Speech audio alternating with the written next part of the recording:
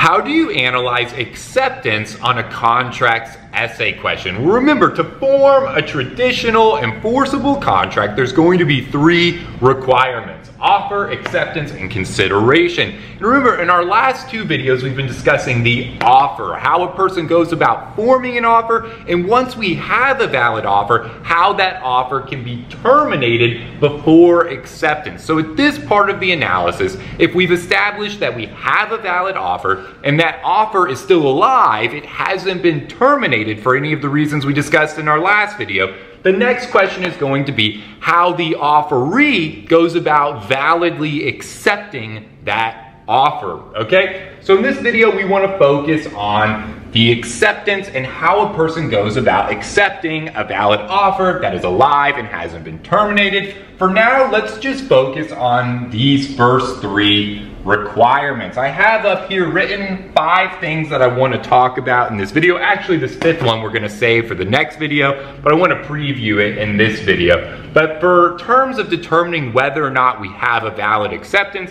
I like to think about it in terms of three elements and two considerations, right? Two issues to keep in the back of your mind as we're working through these elements. But let's start with one, two, and three, how we go about accepting an offer. Okay, so number one, similar to the offer, the acceptance is going to be governed by an objective test. So the offeree, in order to accept the offer, must manifest an objective willingness to enter into the agreement. So here, remember that outward actions and appearances are going to be determinative, not subjective hidden intentions. So if you offer to sell me your dry erase marker for $5 and I say I accept, but my fingers are crossed behind my back, do we have an acceptance?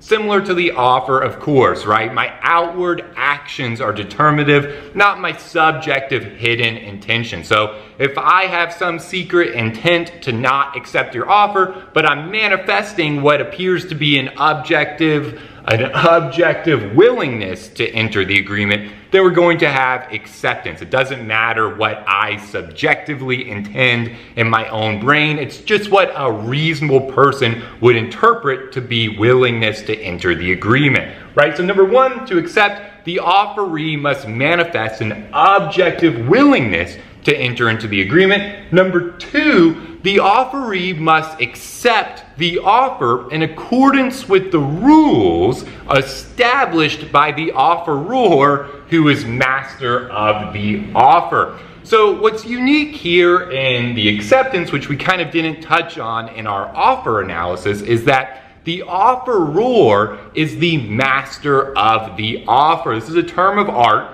and what it means is the offeree has to accept the offer in accordance with whatever rules are established by the offeror.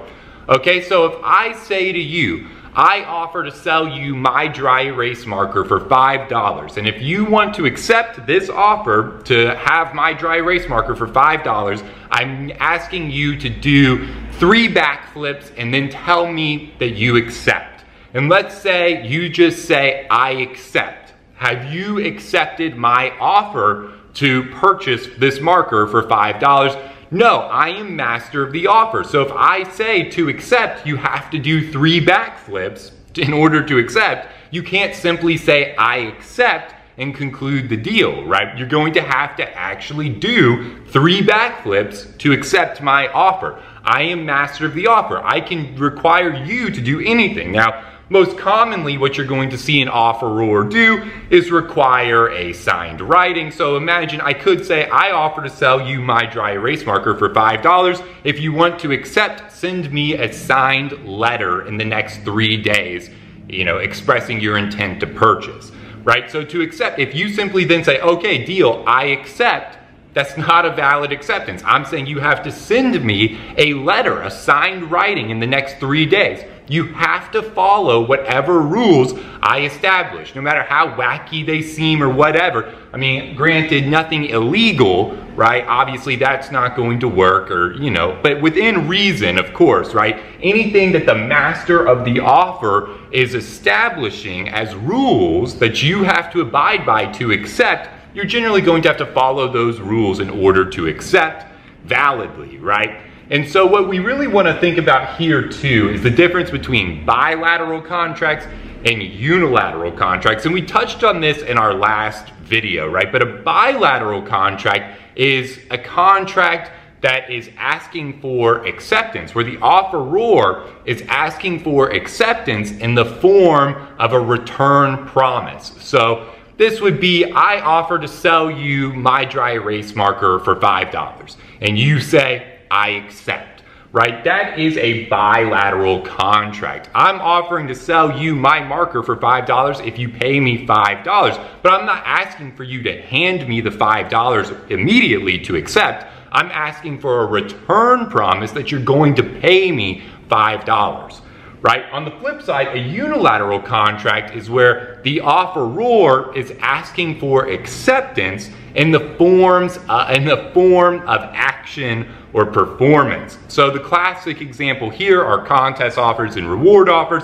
but it doesn't even have to be that. Imagine that I my cat is missing. We can stick with this example. Say I have a missing cat and I say to you, if you go out there and you find my cat and return my cat to me safely, I will pay you $100. And you say, I accept. Have you accepted that offer? No, that's a unilateral contract. As master of the offer, I'm asking for acceptance in the form of action or performance. Once you go out, find my cat, and return it to me, then you've accepted my offer, right? But I'm asking for a performance or action of you going out and finding my cat and returning it to me. I'm not asking for a return promise that you're going to do it. I'm saying if you go out and do X, Y, and Z, if you go out and find my cat and return it to me safely, I will then pay you, right? So I'm asking for action or performance. So that's going to be a unilateral contract. Okay, so the key here with a unilateral contract is going to be that once performance on a unilateral contract starts, the offer becomes irrevocable. Remember, we talked about this in the last video. If I offer to you that I'm going to pay you $100 if you return my cat to me, if you go out and hire a search team to go looking for the cat, once you start performance, that offer becomes irrevocable. I can't call you and say, hey, I revoke my offer, you know, whatever, right? If you've started performance on a unilateral contract, you've gone out, you've hired a search team, you're out there looking for the cat, I can't call you up and revoke that offer. But that doesn't mean you've accepted my offer. Mere starting or mere beginning performance isn't acceptance. Acceptance is only going to be valid when you complete for performance.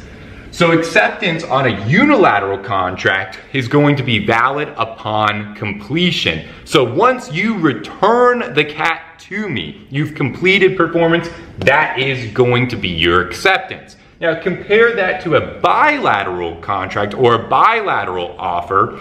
Once performance is started on a bilateral contract, that is going to manifest acceptance. So if we have a bilateral contract where I'm just asking for a return promise, you can either accept by giving me that return promise or starting performance. Once you start performance, that's going to be considered a manifestation of acceptance under a bilateral contract. So here, just remember for bilateral, it's going to be, you know, starting performance starting performance. And that's a very important distinction to make. Unilateral contract, once you start performance, the offer becomes irrevocable, but it's not a valid acceptance until performance is completed. Bilateral contract, you can either accept by giving me a return promise or by beginning performance. Once you begin performance, that's going to manifest a valid acceptance, okay? So big difference there. That's the master of the offer and kind of the difference between bilateral contracts and unilateral contracts. The third thing that we have to remember here in terms of the acceptance, remember an element to the formation of an offer. Remember we said that the offeror had to create a power of acceptance in the offeree. So here, similar to this idea, in order to accept, the offeree must be the person that the power of acceptance was created in. You must have the power to accept, the power of acceptance to accept the offer, right? And remember, I briefly illustrated this example, but just to rehash it, Imagine that I offer to sell you my dry erase marker for $5. And let's say there's a window cleaner standing outside here cleaning the window and he hears this offer being made. He hears me saying to you, I offer to sell you my dry erase marker for $5 right? And let's say that the window guy behind me hears this and he says, oh, I accept, Michael, I'm over here, I accept.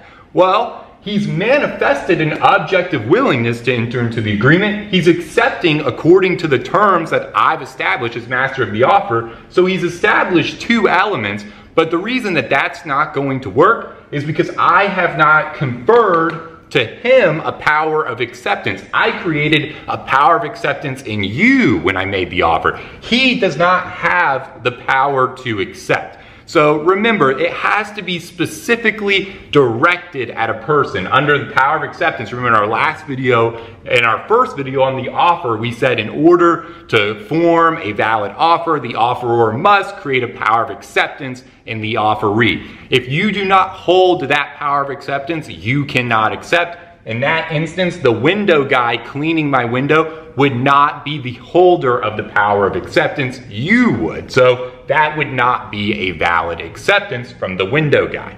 Okay?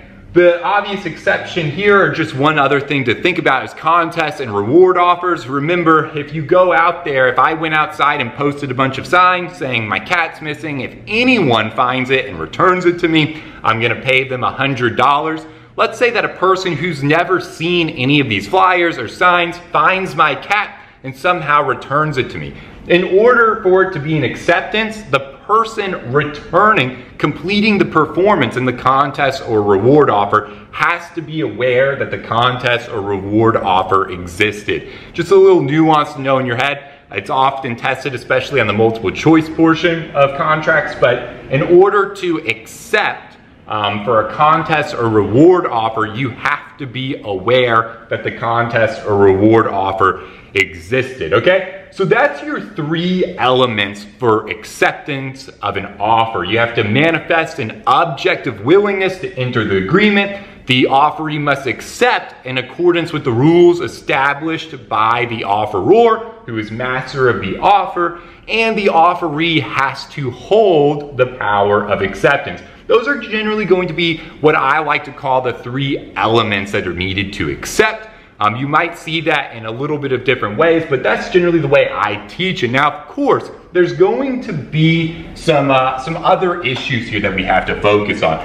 And I'll just go ahead and say right now that the mirror image rule in UCC 2207, uh, this fifth thing that I have written right here, we're going to have to talk about in a whole separate video because that's a very, very extensive analysis that's going to require its own video. But for now, let's just focus on the mailbox rule. So the mailbox rule is a, is a timing issue, right? So, and by the way, I see the mailbox rule. It's one of these ideas in the law that I see law students bungle all the time. And I'm not exactly sure why because it's not a complicated rule, but somehow I think students think they understand it and then they go to apply it and things get bungled. So now would be the time to really pay close attention and I'm gonna try to do this very slowly. But all the mailbox rule is, all that it says is that an acceptance sent in the mail via letter, postage, stamped envelope, if you're sending a letter in the mail as an acceptance, that acceptance is valid the moment that you drop it into the mailbox. The moment that that thing, that letter leaves your hands and it goes into the post box, that outgoing mailbox, that acceptance is now valid. Okay? And there's only two ways, two ways, generally only two ways that that would not apply. Number one, if you're dealing with an irrevocable offer. Okay, so an option contract firm offer, we talked about that in our previous videos. if you're dealing, if the offer that's being accepted is irrevocable, the mailbox rule does not apply. The only other reason that the mailbox rule would not apply is if the offeree is sending a termination letter before he is sending his acceptance letter. Okay? So if I send, if I'm the offeree, or let's stick with our with our original example. Let's say I offer to sell you this dry erase marker for $5 and you want to mail me an acceptance letter. The second that you write your acceptance letter that you say, I accept the terms of your deal, Michael, and you stamp it and you get the right address on that envelope and you put it in the mailbox, it's accepted. My offer has been accepted. So if I call you an hour after you've dropped that letter in the mailbox and I say, hey, I'm revoking my offer, it's already been accepted. I can now not revoke my offer. Even though I haven't received your acceptance letter, it hasn't even reached me yet. I have no idea. The second that you dropped it in the mailbox, it was an acceptance. So anything that happens after that point is irrelevant. Okay, the second that that goes in there, unless the offer was irrevocable, which it's not, if I just say, I offer to sell you this dry erase marker for $5, there's nothing in that that makes that offer irrevocable. Okay, so the moment that it goes in, that acceptance letter is dropped in the mailbox, it's a valid acceptance. Now, what if you, the offeree, put something else in the mailbox first. You put in a termination letter, either a counter offer or a rejection. Let's say that first thing you write to me is a rejection letter. So I offer to sell you my dry erase marker for $5. You write a letter saying, thank you for the offer, Michael, but I have to reject. I don't want to take up that deal. No, thank you, rejection. And you drop that in the mailbox and then you go home.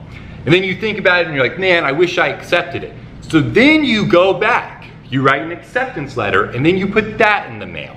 In that situation, if you're sending a termination letter first, either a counteroffer or rejection, then the mailbox rule does not apply. And in that situation, it's going to be whatever letter I receive first is going to control. So in our timeline, if you send me a, so I offer to sell you this dry erase marker for $5, you write me first a rejection letter.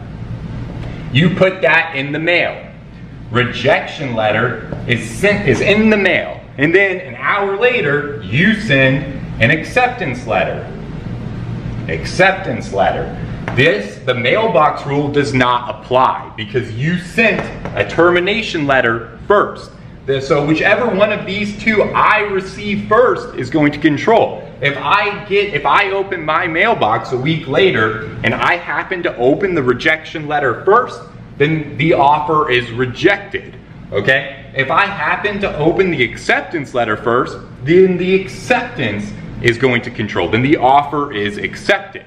Okay? But if we switch these two things, if we were to switch them on our timeline, if you sent me the acceptance first, then nothing else matters from that point forward. Because the mailbox rule controls. The acceptance is in the mail. The second that you put that acceptance letter in the mail, then the offer is accepted. So it doesn't matter what happens after that, whether I call you and try to revoke, or you call me and try to revoke, or you send more letters in the mail, or I send more letters in the mail, it doesn't matter because it's not an irrevocable offer and nothing was sent, a termination letter was not sent first. So the mailbox rule controls, so the moment that that goes in the mail, we have an acceptance of the offer. Nothing else that happens after is going to change that. Do not get confused. This is very simple. Very simple. Think about the timeline. If a termination letter is sent before the acceptance, mailbox rule doesn't apply. If it's sent after the acceptance, mailbox rule does apply. If it's sent before and the mailbox rule does not apply, then it's just whatever the offeror opens first is going to control. Okay? So it isn't that difficult, but sometimes I guess when you have a lot happening in the fact pattern, you're under a timer, it can be confusing. Now, Okay, of course, too, one other big note to make about the mailbox rule is it does not apply to any other form of communication. It only applies to acceptances, acceptance letters. So if you send a rejection letter, a revocation letter, a counteroffer letter, none of those are going to be valid when they're dropped in the mailbox. Those are going to be valid upon receipt when the person that it's being sent to opens that letter and reads it. That is when the, anything else other than an acceptance letter that is sent is going to be valid. So don't get confused. The mailbox rule only applies to acceptance letters that are sent in the mail.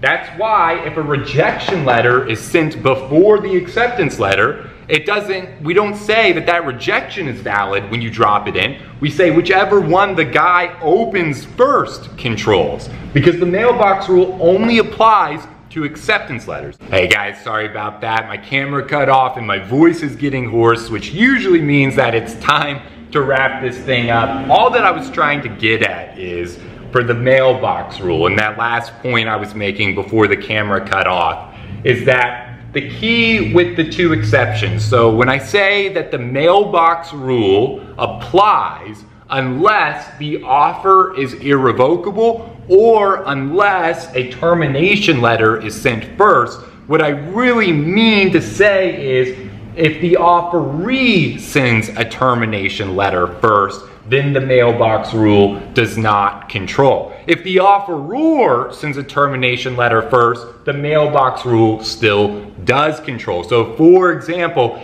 if I offer to sell you this dry erase marker for $5, I'm the offeror, I offer to sell this dry erase marker to you for $5. And then an hour later, I put a revocation letter in the mail, a termination letter in the mail. That does not make the mailbox rule inapplicable.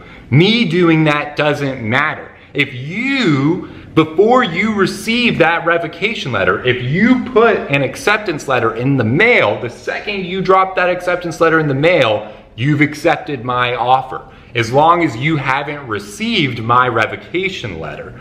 Okay, the key is would be if the offeree sends a termination letter first, then the mailbox rule does not apply. So if I offer to sell you my dry erase marker for $5 and then I don't send anything else in the mail and you send a termination letter first, you send a rejection letter, then that's going to kill the mailbox rule. Now that exception applies and the mailbox rule is out. It's going to be whichever one I receive first. So the key is if the offeree sends a termination letter before the acceptance letter, then the mailbox rule does not apply. And whichever letter I open first or whichever letter the offeror opens first is going to control. If that offeror happens to open the rejection letter first, offer is terminated. If that offeror happens to open the acceptance letter first, the offer is accepted. Okay, hopefully all of that makes sense with the mailbox rule. In our next video, there's going to be one more gigantic issue we have to talk about to cover acceptance fully, and that's going to be the mirror image rule versus the UCC. And this is going to deal with an issue when the offeree adds additional terms to the deal. Does that constitute a counteroffer or an acceptance? And we're going to find that the common law and the UCC treat this issue a little bit different in different circumstances. So we're going to explore that question in our next video. But until then, guys, I wish you all the absolute best. Hope this video was helpful, and I'll see you at our next video.